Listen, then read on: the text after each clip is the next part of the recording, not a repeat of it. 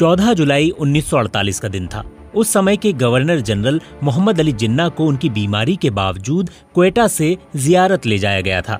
इसके बाद वो सिर्फ़ 60 दिन ज़िंदा रहे और 11 सितंबर 1948 को इस दुनिया से रुखसत हो गए। पाकिस्तान के राष्ट्रपिता मोहम्मद अली जिन्ना के जीवन के इन आखिरी 60 दिनों में क्या क्या हुआ? रहस्य की ये गुत्थी आज तक हल नहीं हो सकी कि कायदे आज़म, यानी मोहम्मद अली जिन्ना को गंभीर बीमारी के बावजूद कोयटा से जियारत ले जाने की सलाह किसने दी थी?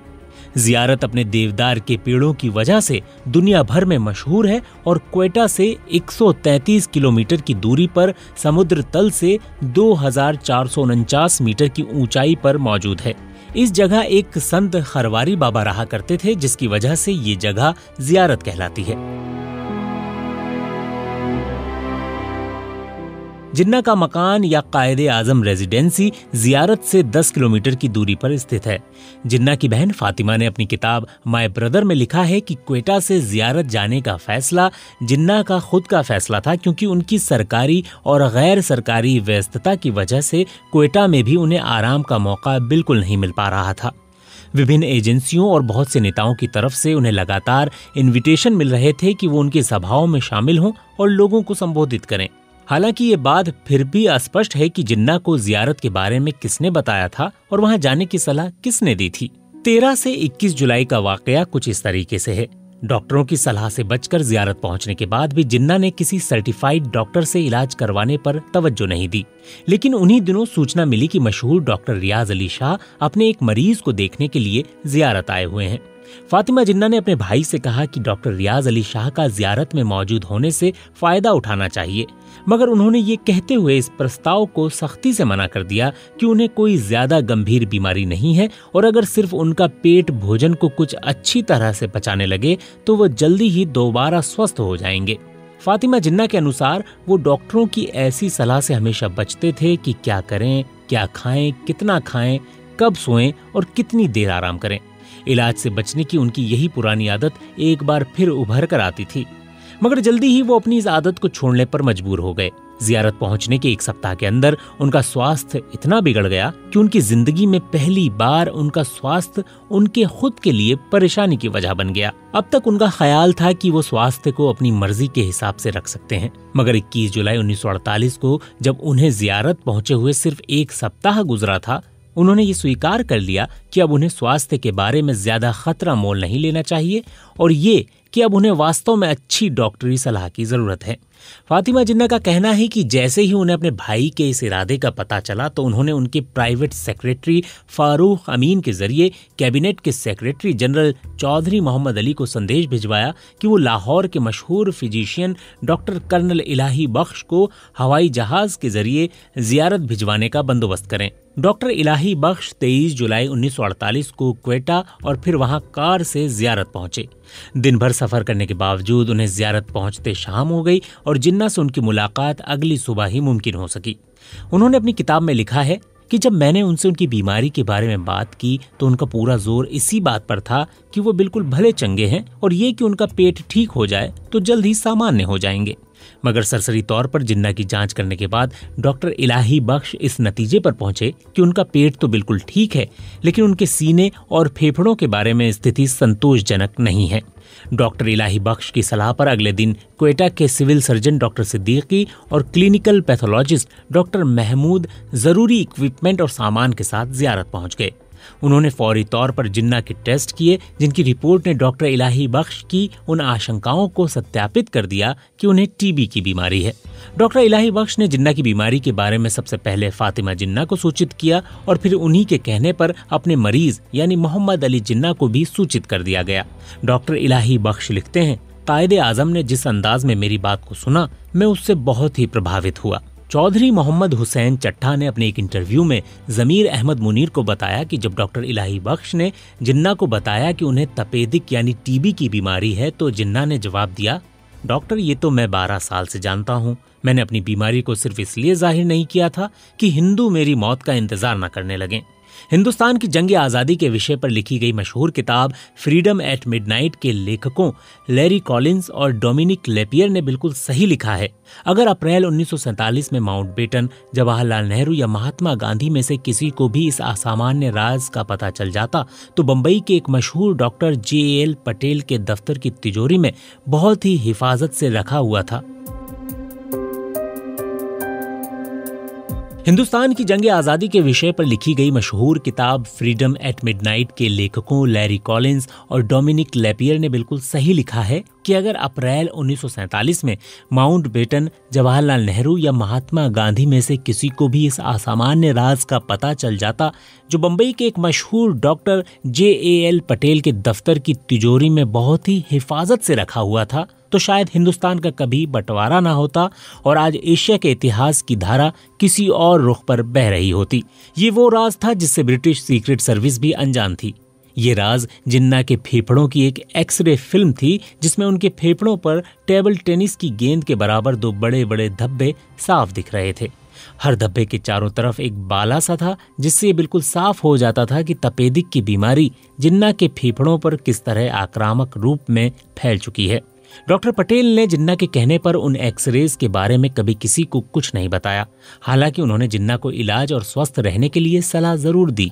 उनका कहना था कि इसका इलाज सिर्फ़ और सिर्फ़ आराम पर निर्भर है। मगर पाकिस्तान के संस्थापक के पास आराम का वक्त कहाँ था? जिन्ना के पास समय कम था और काम बहुत ज़्यादा था और वो नियमित इलाज कभी नहीं करा सके।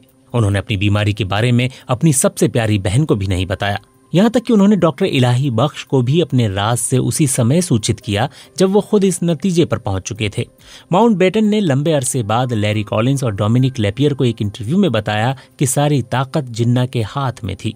उन्होंने कहा था, अगर किसी ने मुझे बताया होता कि वो बहुत कम समय में ही इस दुनिया से चले जाएँगे तो मैं हिंदुस्तान का बंटवारा न होने देता। ये एकमात्र स्थिति थी कि हिंदुस्तान संगठित तौर पर बना रहता। रास्ते का पत्थर सिर्फ़ मिस्टर थे, दूसरे नेता इतने सख्त नहीं थे और मुझे यकीन है कि कांग्रेस उन लोगों के साथ किसी सुलह पर पहुँच जाती और पाकिस्तान कयामत तक अस्तित्व में नहीं आता।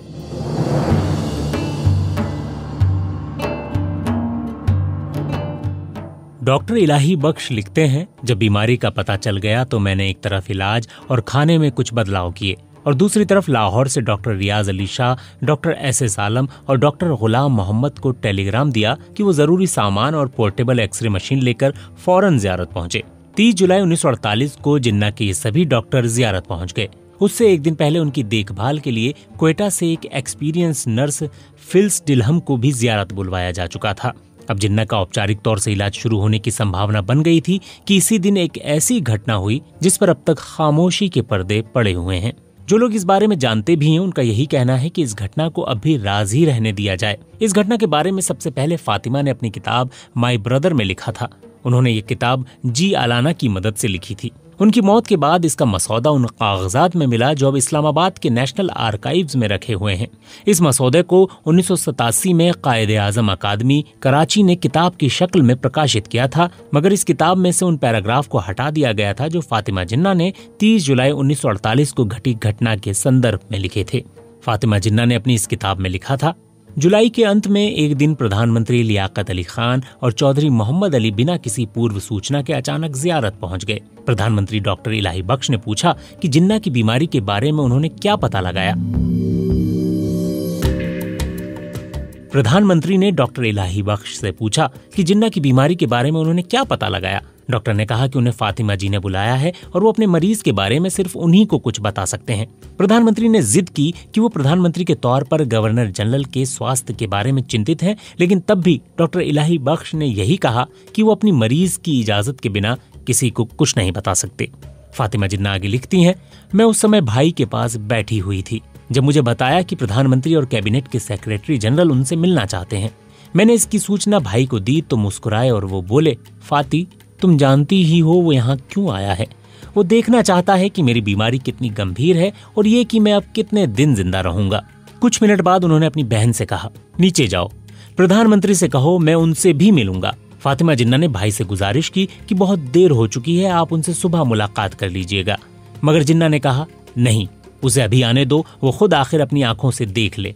अपनी किताब में वो आगे लिखती हैं, दोनों की मुलाकात आधे घंटे तक चलती रही।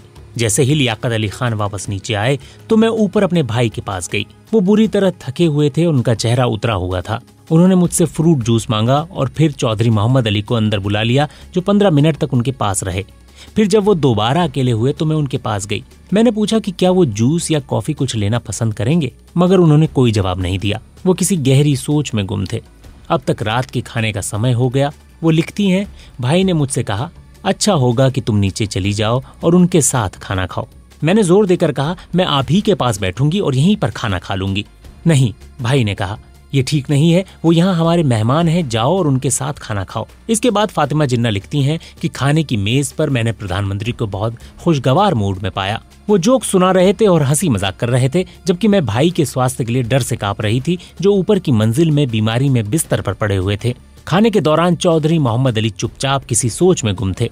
खाना खत्म होने से पहले मैं ऊपर चली गई। जब मैं कमरे में दाखिल हुई तो भाई मुझे देख कर मुस्कुराए और बोले, फाती, तुम्हें हिम्मत से काम लेना चाहिए। वो लिखती हैं, मैंने अपने आंसुओं को छिपाने की बहुत कोशिश की, जो मेरी आँखों में उमड़ आए थे।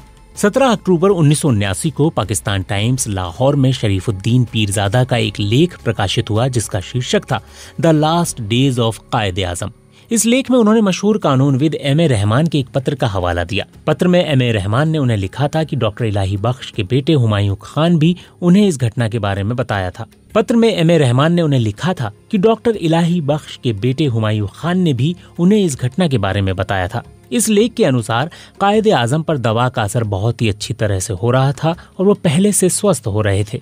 एक दिन लियाकत अली खान कायद आज़म से मिलने के लिए जियारत आए। वो उनके साथ लगभग एक घंटा रहे। उसी दौरान दवा खिलाने का समय हो गया, लेकिन मेरे पिता अंदर जाकर कायद आज़म को दवा नहीं दे सकते थे, क्योंकि अंदर जो मीटिंग हो रही थी, वो बहुत ही खुफिया थी। इसीलिए वो बाहर इंतज़ार करते रहे ताकि मुलाकात खत्म होते ही वो कायद आज़म को दवा खिला सकें। जब लियाकत अली खान कमरे से बाहर निकले तो मेरे पिता फ़ौरन कमरे में दाखिल हुए और कायद आज़म को दवा खिलाना चाहिए।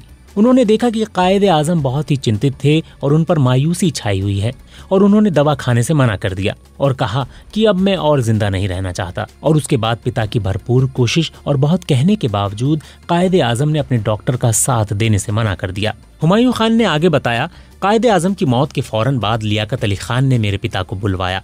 लियाकत अली खान ने उनसे पूछा कि उस दिन जियारत में जब मैं कमरे से बाहर निकल आया और आप अंदर गए तो कायद आज़म ने आपसे क्या बात की थी? मेरे पिता ने लियाकत अली खान को बहुत यकीन दिलाने की कोशिश की कि कायद आज़म ने आप दोनों के बीच होने वाली बातचीत के बारे में मुझसे बिल्कुल भी कोई बात नहीं की थी, सिवाय इसके कि उसके बाद कायद आज़म ने दवा खानी बंद कर दी थी। लेकिन मेरे पिता के जवाब से लियाकत अली खान को तसल्ली नहीं हुई। लियाकत अली खान काफ़ी देर तक मेरे पिता पर ज़ोर बनाने की कोशिश करते रहे। जब उनकी मुलाकात खत्म हुई और मेरे पिता कमरे से निकलने लगे तो लियाकत अली खान ने उन्हें वापस बुलाया और उन्हें चेतावनी दी कि अगर उन्होंने किसी और ज़रिए से इस मुलाकात के बारे में कुछ सुना तो उन्हें, यानी मेरे पिता को, गंभीर नतीजे भुगतने पड़ेंगे। ये डॉक्टर इलाही बख्श के बेटे हुमायूं खान का बयान है, जो हम तक एम ए रहमान और शरीफुद्दीन पीरजादा के ज़रिए से पहुँचा है। इसकी सत्यता पर बहस की गुंजाइश हो सकती है, क्योंकि खुद डॉक्टर कर्नल इलाही बख्श ने अपनी किताब कायद आज़म के आखिरी दिनों में इस घटना के बारे में अलग तरह से लिखा है। इसी घटना के बारे में डॉक्टर इलाही का बयान अलग है।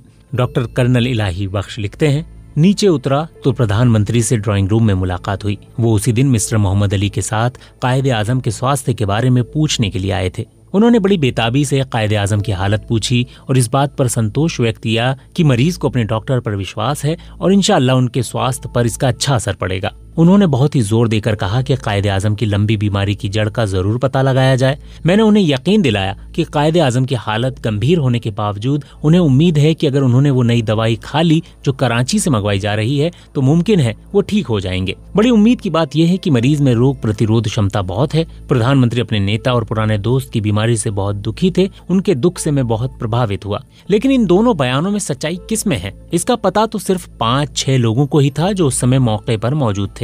संयोग से उनमें से कोई भी अब जीवित नहीं है। घटना पर भी बहत्तर साल की धूल जम चुकी है और अब ऐसा कोई स्रोत नहीं बचा जो देश को इस घटना की असलियत को बता सके। दो तीन दिन में जिन्ना की हालत इतनी बेहतर हो गई कि तीन अगस्त को डॉक्टर कर्नल इलाही बख्श ने उनसे लाहौर जाने के लिए परमिशन भी ले ली। वैसे इसकी वजह यह दिखाई देती है कि कुछ दिन बाद ईद आने वाली थी और डॉक्टर इलाही बख्श ईद अपने घर वालों के साथ मनाना चाहते थे। मगर अभी उन्हें लाहौर पहुँचे एक दिन ही हुआ था कि उन्हें डॉक्टर आलम के साथ अल्ट्रा वायलेट एपरेटस यानी पारा बैंगनी किरणों द्वारा इलाज करने की मशीन लेकर फ़ौरन जियारत आने को कहा गया और 6 अगस्त को वो ये मशीन लेकर जियारत पहुँच गए। डॉक्टर रियाज हुसैन शाह ने उन्हें बताया कि उनकी गैर हाजिरी में जिन्ना बहुत कमज़ोर हो गए और उनका ब्लड प्रेशर बहुत गिर गया था, मगर इंजेक्शन लगाने से उनकी हालत बहुत बेहतर हो गई थी। अगले दिन 7 अगस्त 1948 को ईद थी। उसी शाम जिन्ना के इलाज की शुरुआत हुई, मगर ये उन्हें सूट नहीं आया और उनके पैरों पर कुछ सूजन आ गई। 9 अगस्त को डॉक्टरों ने सलाह दी कि जियारत की समुद्र तल से ऊंचाई मरीज़ के लिए अच्छी नहीं और उन्हें क्वेटा ले जाना चाहिए, जिन्ना पहले तो 15 अगस्त से पहले जाने के लिए तैयार नहीं थे, क्योंकि इसी साल जून में फैसला हो चुका था कि स्वतंत्रता दिवस 15 के बजाय 14 अगस्त को मनाया जाएगा। लेकिन अपने डॉक्टरों के कहने पर वो 13 अगस्त को कोयटा जाने के लिए मान गए। जिन्ना के जियारत में रहने के समय की बात है कि डॉक्टर कर्नल इलाही बख्श ने फातिमा से पूछा, आपके भाई को कुछ खाने पर कैसे तैयार किया जाए? उनकी खास पसंद का कोई खाना बताएँ। फातिमा जिन्ना ने बताया कि बम्बई में उनके यहाँ एक बावर्ची हुआ करता था, जो कुछ ऐसे खाने तैयार करता था कि भाई उनको बड़े शौक से खाते थे, लेकिन पाकिस्तान बनने के बाद वो बावर्ची कहीं चला गया। उन्हें याद था कि वो लायलपुर, यानी आज के फैसलाबाद का रहने वाला था और कहा कि शायद वहाँ से उसका कुछ पता मिल सके। ये सुनकर डॉक्टर साहब ने पंजाब सरकार से निवेदन किया कि उस बावर्ची को तलाश करके फ़ौरन जियारत भिजवाया जाए। किसी न किसी तरह वो बावर्ची मिल गया और उसे फ़ौरन ही जियारत भिजवा दिया गया। हालाँकि जिन्ना को उसके आने के बारे में कुछ नहीं बताया गया। खाने की मेज पर उन्होंने अपने पसंदीदा खाने देखते हुए हैरानी का इजहार किया और खुश होकर अच्छी तरह से खाना खा लिया। जिन्ना ने पूछा कि आज खाना किसने बनाया है? तो उनकी बहन ने बताया कि पंजाब सरकार ने हमारे बम्बई वाले बावर्ची को तलाश करके यहाँ भिजवाया है और उसने आपकी पसंद का खाना बनाया है। जिन्ना ने बहन से पूछा कि इस बावर्ची को तलाश करने और यहाँ भिजवाने का खर्च किसने उठाया है? जब उन्हें बताया गया कि ये काम पंजाब सरकार ने किया है तो जिन्ना ने बावर्ची से संबंधित फ़ाइल मंगवाई और उस पर लिखा कि गवर्नर जनरल की पसंद का बावर्ची और खाना मुहैया कराना सरकार के किसी विभाग का काम नहीं है। खर्च का ब्यौरा तैयार किया जाए ताकि मैं उसे अपनी जेब से अदा कर सकूँ। और फिर ऐसा ही हुआ।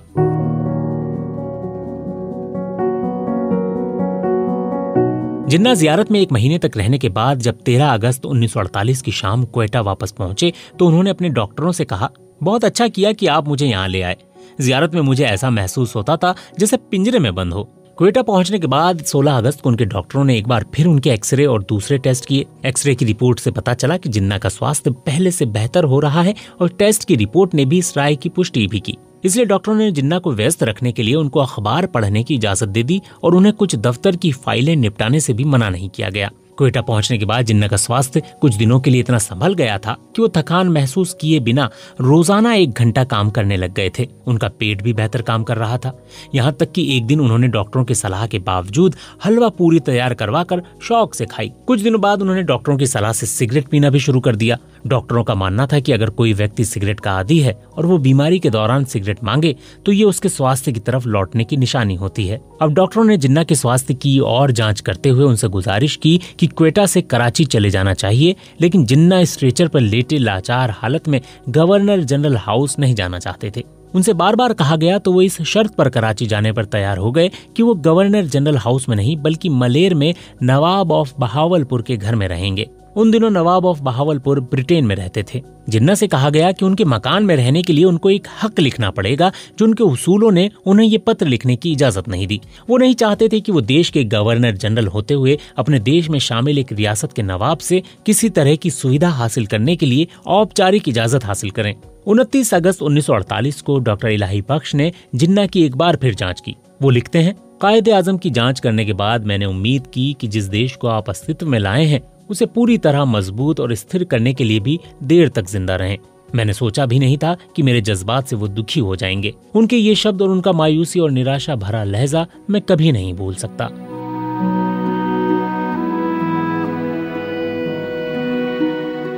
जिन्ना ने डॉक्टर इलाही बख्श को कहा, आपको याद है, जब आप पहली बार जियारत आए थे तो मैं ज़िंदा रहना चाहता था, लेकिन अब मेरा मरना जीना बराबर है। डॉक्टर इलाही बख्श लिखते हैं ये शब्द बोलते हुए उनकी आँखों में आँसू आ गए। एक ऐसे व्यक्ति को रोता देखकर, जिसे जज्बात से बिल्कुल दूर और फौलाद की तरह सख्त समझा जाता था, डॉक्टर इलाही बख्श दंग रह गए। जिन्ना उस समय पहले के मुकाबले स्वस्थ थे, इसलिए जिन्ना के दब्बू स्वभाव से उन्हें और भी हैरानी हुई। उन्होंने वजह पूछी तो जिन्ना ने कहा, मैं अपना काम पूरा कर चुका हूँ।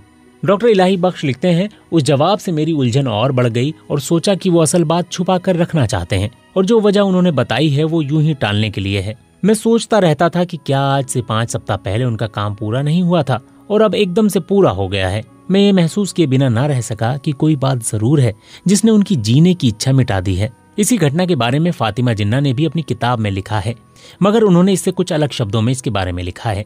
वो लिखती हैं, अगस्त के आखिरी दिनों में जिन्ना पर अचानक मायूसी छा गई। एक दिन मेरी आँखों में गौर से देखते हुए उन्होंने कहा, फाती, अब मुझे ज़िंदा रहने से कोई दिलचस्पी नहीं। जितना जल्दी चला जाऊँ, उतना ही अच्छा है। ये बेहद खराब शब्द थे। मैं काँप उठी। जैसे मैंने बिजली के नंगे तार को छू लिया हो, फिर भी मैंने सब्र और हिम्मत से काम लिया और कहा, जिन, आप जल्दी ही अच्छे हो जाएँगे, डॉक्टरों को पूरी उम्मीद है। मेरी ये बात सुनकर मुस्कुराए, उस मुस्कुराहट में मायूसी छुपी थी। उन्होंने कहा, नहीं, अब मैं ज़िंदा रहना नहीं चाहता।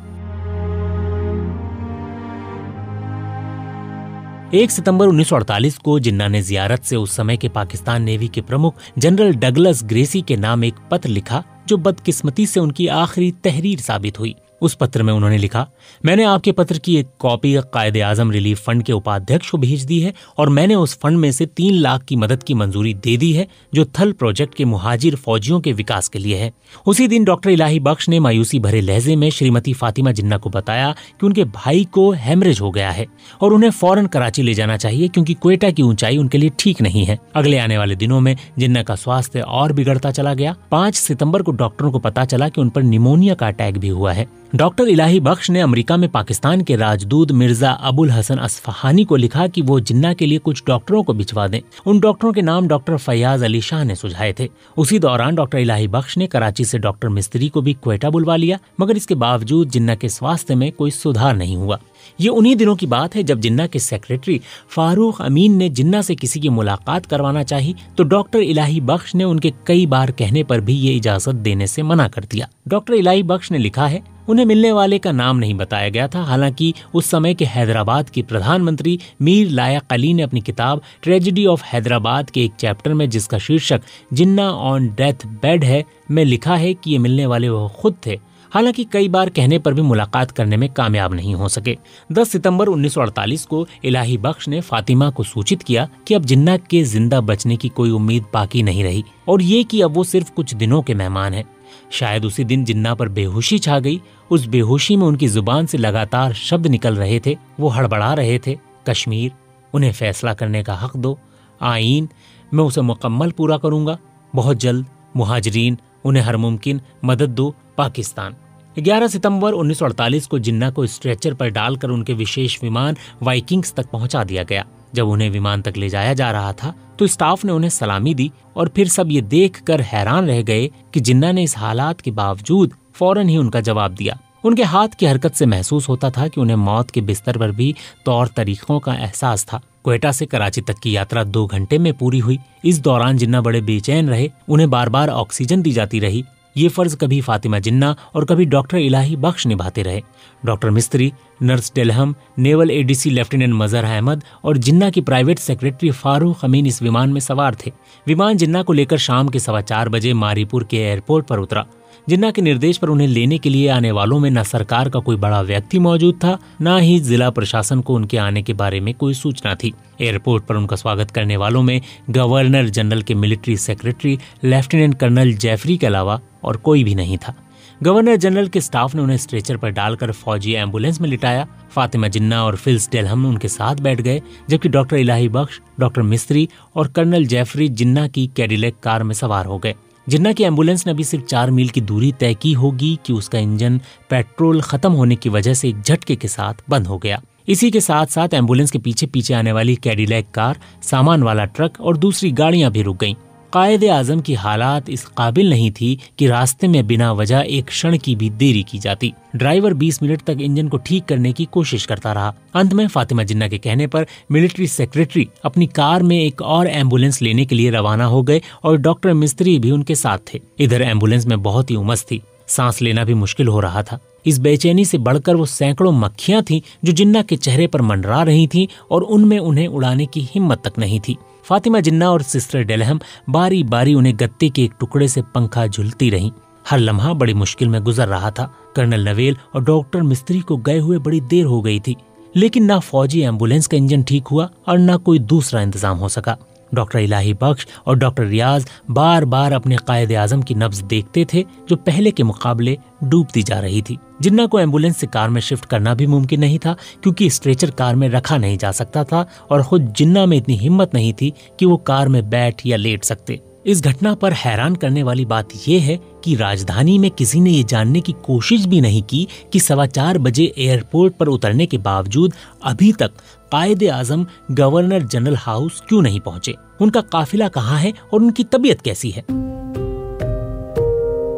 कुछ लोग कहते हैं कि जिन्ना के कराची आने के बारे में राज रखा गया था। लेकिन क्या वास्तव में सरकार के उच्च पदाधिकारी उनके आने से बेखबर थे? क्या किसी को ये भी खबर नहीं थी कि उसी सुबह गवर्नर जनरल का विशेष विमान क्वेटा भेजा गया है और शाम में किसी भी समय वो राजधानी में आ सकते हैं? जानकार बताते हैं कि 4 सितंबर 1948 को जब कैबिनेट के secretary general Chaudhry Mohammad Ali governor general की खराब स्वास्थ्य देखकर कराची पहुँचे थे तो उसी शाम प्रधानमंत्री हाउस में कैबिनेट का आपातकालीन सत्र बुलाया गया था। ये नामुमकिन है कि उस समय जिन्ना की बीमारी पर बहस न हुई हो। इसके बाद जब मीर लायक अली गवर्नर जनरल से मिले बिना कराची वापस लौट आए तो उन्होंने गुलाम मोहम्मद के रेजिडेंस पर लियाकत अली खान चौधरी मोहम्मद अली और सर जफरुल्ला खान को जिन्ना की बहुत ही गंभीर हालत के बारे में सूचित किया और मीर लायक अली के अनुसार सभी लोग हैरान रह गए थे। इस पृष्ठभूमि में जिन्ना के कराची आगमन से सरकार की बेरुखी और बेखबरी तस्वीर के किस रुख की निशानदेही करती है, ये सवाल आज भी चिंता का विषय है। पाकिस्तान में भारत के पहले हाई कमिश्नर श्री प्रकाश ने अपनी किताब पाकिस्तान, कयाम और इब्तदाई हालात में भी इस घटना का उल्लेख किया है। उन्होंने लिखा है, उन दिनों स्थानीय रेड क्रॉस के इंचार्ज जमशेद मेहता थे, जिनकी इज़्ज़त कराची का हर व्यक्ति करता था। बाद में उन्होंने मुझे बताया कि मुझे शाम को संदेश मिला कि एक आदमी बहुत बीमार है, क्या आप उसके लिए एंबुलेंस भेज सकते हैं? ये घटना साढ़े पाँच बजे शाम की है। कर्नल नवेल्स और डॉक्टर मिस्त्री एक दूसरी एंबुलेंस लेकर वापस आए। अंदाज़ा लगाया जा सकता है कि ये वही एंबुलेंस होगी जिसका ज़िक्र श्री प्रकाश ने किया है। जिन्ना को स्ट्रेचर पर डालकर उस एंबुलेंस में शिफ्ट किया गया और इस तरह शाम छह बजकर दस मिनट पर वो गवर्नर जनरल हाउस पहुँचे। एयरपोर्ट से गवर्नर हाउस तक का नौ मील का रास्ता, जो ज़्यादा से ज़्यादा बीस मिनट में तय हो जाना चाहिए था, लगभग दो घंटे में तय हुआ। यानी दो घंटे क्वेटा से कराची तक और दो घंटे एयरपोर्ट से गवर्नर जनरल हाउस तक। ये मुश्किलों से भरा सफ़र जिन्ना ने ऐसी स्थिति में किया कि हमारे इतिहास में इसकी कोई मिसाल नहीं मिलती है। श्री प्रकाश ने अपनी किताब में लिखा है, मिस्टर जिन्ना की मौत के समय फ्रांसीसी एम्बेसी में कॉकटेल पार्टी हो रही थी। मैंने उस पार्टी में नवाबजादा लियाकत अली खान से मिस्टर जिन्ना के आने का ज़िक्र किया तो उन्होंने कहा, मिस्टर जिन्ना सादा मिजाज आदमी है, इसलिए उन्होंने इसको पसंद नहीं किया कि उनके आने पर हंगामा हो। गवर्नर जनरल हाउस पहुँचने के बाद जिन्ना सिर्फ़ सवा चार घंटे ज़िंदा रहे और इस दौरान वो लगभग बेहोशी में रहे। डॉक्टर ने उन्हें ताकत का एक इंजेक्शन लगाया और डॉक्टर इलाही बख्श के अनुसार जब उन्होंने होश में आने पर जिन्ना से कहा कि वो जल्द ही ठीक हो जाएँगे तो उन्होंने आराम से कहा, नहीं, मैं ज़िंदा नहीं रहूँगा। डॉक्टर इलाही बख्श के अनुसार यह कायद आज़म मोहम्मद अली जिन्ना के अंतिम शब्द थे। डॉक्टर रियाज अली शाह ने लिखा है कि जिन्ना के अंतिम शब्द अल्लाह और पाकिस्तान थे, जबकि फातिमा जिन्ना माई ब्रदर में लिखती हैं, जिन्ना ने दो घंटे सुकून की नींद के बाद अपनी आँखें खोली, सर और आँखों से मुझे अपने करीब बुलाया और मेरे साथ बात करने की आखिरी कोशिश की। उनके लबों से सरगोशी में निकला। फाति, खुदा हाफिज, ला इलाहा इल्लल्लाह मोहम्मद रसूलुल्लाह। फिर उनका सिर दाएँ तरफ़ को आहिस्ता से लुढ़क गया और उनकी आँखें बंद हो गई।